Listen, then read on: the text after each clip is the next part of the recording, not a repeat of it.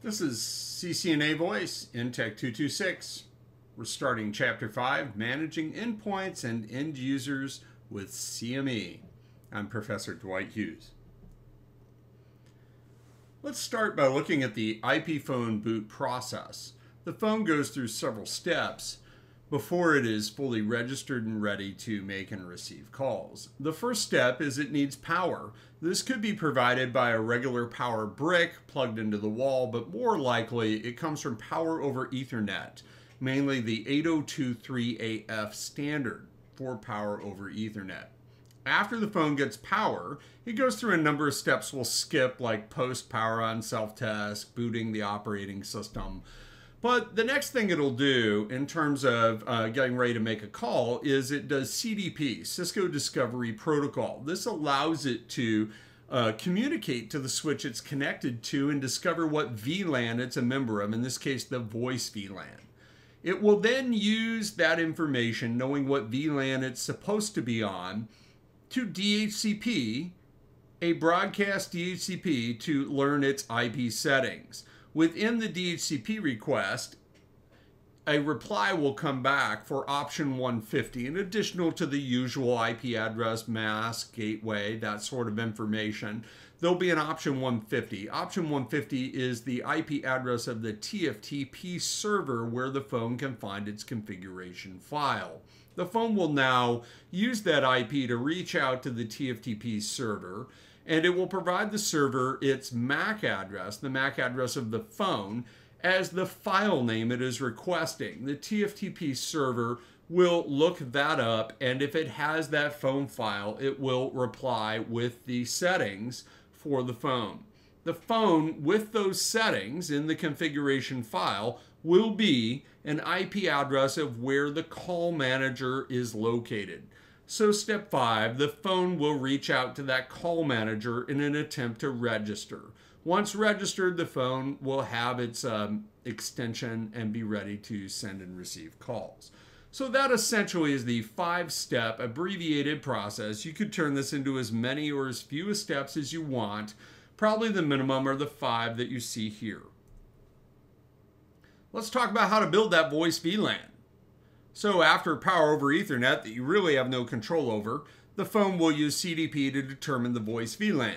This is the configuration to equip the switch with the voice VLAN for the ports the phones are connected to. So assuming we have a phone on port 15, we would put this port in access mode.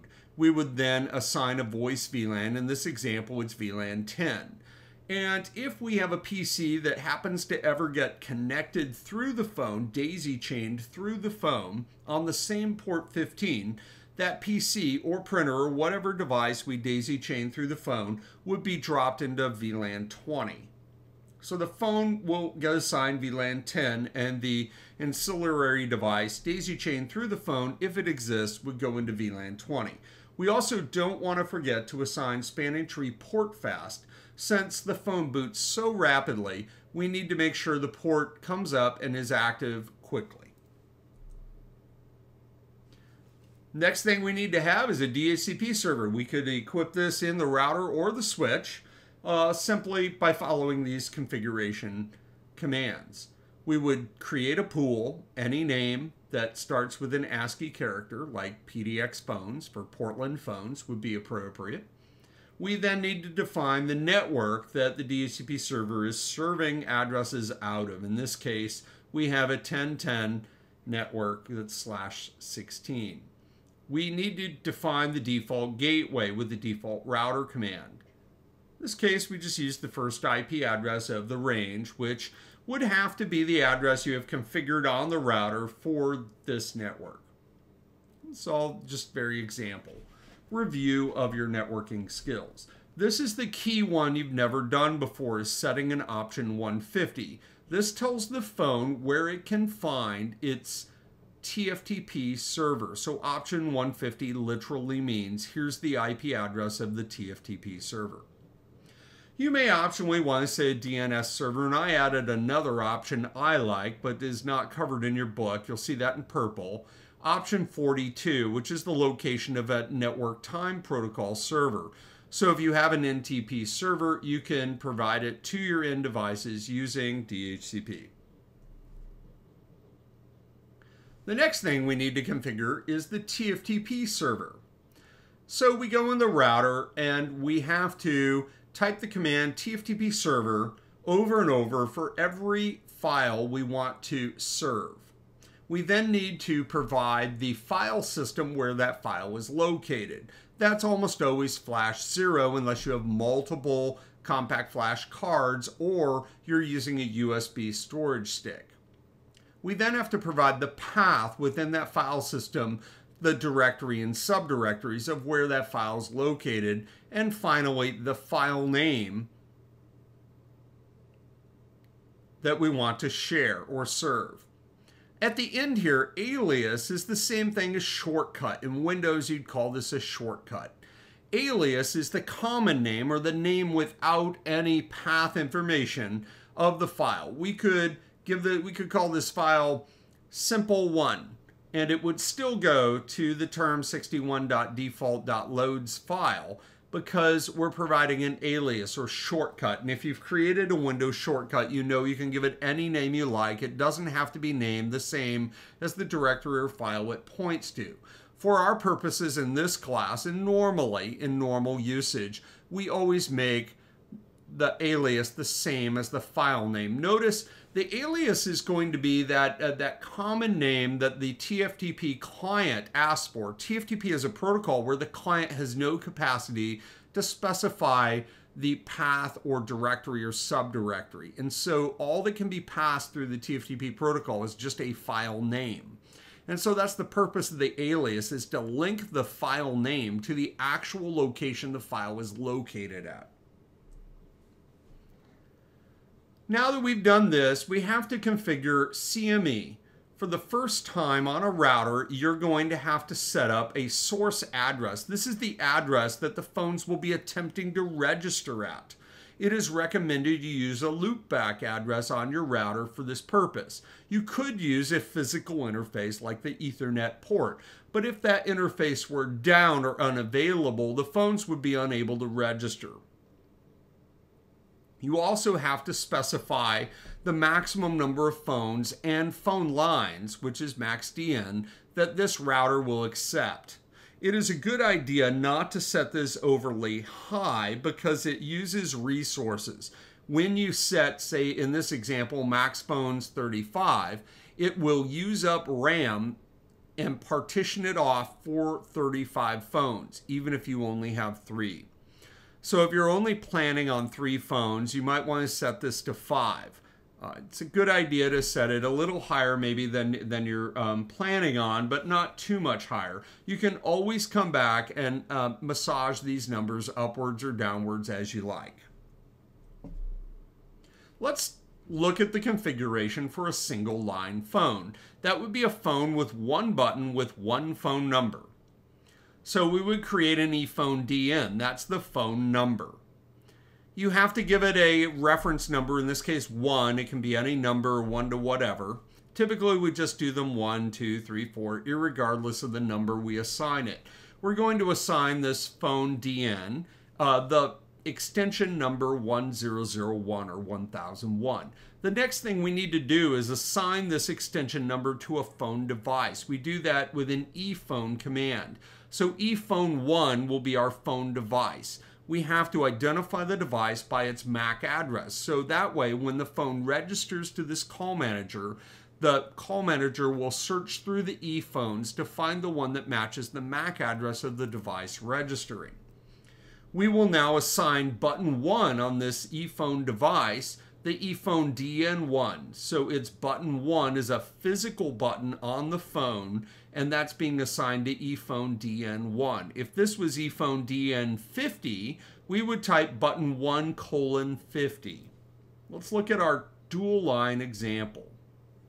In a dual line situation, we have more than one button on the phone and we want to have more than one phone number, one per button. So we create several phone numbers with our ePhone DN command, in this case DN2 and DN3. we now need to come down and create an ePhone and then assign those two numbers, one to each button. Button 1 will be assigned ePhone DN2 and button 2 will be assigned ePhone DN3. Next example is looking at how do you put two numbers on one button. There is a time when you want to have more than one number ring to the same line. So we create an ePhone DN, in this case ePhone DN4, and we're going to assign it two numbers. So this is commonly used when you have an internal extension and also an external DID number. In this case, we have an external number and an internal extension. Notice we are just using one button. So if you dialed 1004, it would ring to button 1 on ePhone 4.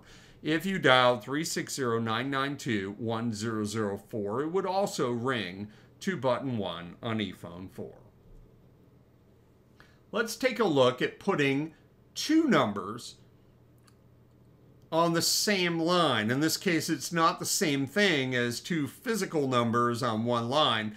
This is the command dual line, which allows this one line to accept uh, multiple calls at one time. This is necessary if you plan to do um, hold or you want to do call waiting or call transfer or pretty much any advanced call feature, you will need to add dual line.